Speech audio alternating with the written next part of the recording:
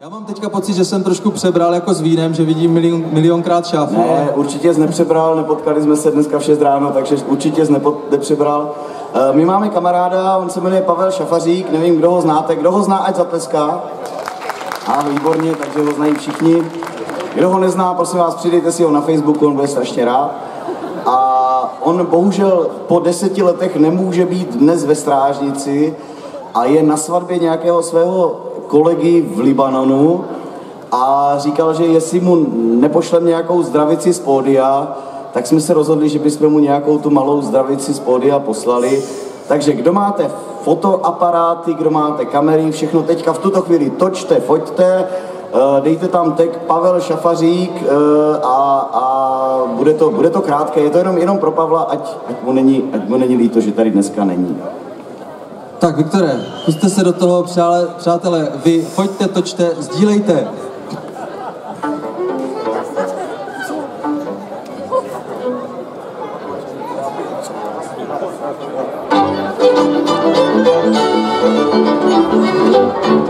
O muzyki sujadla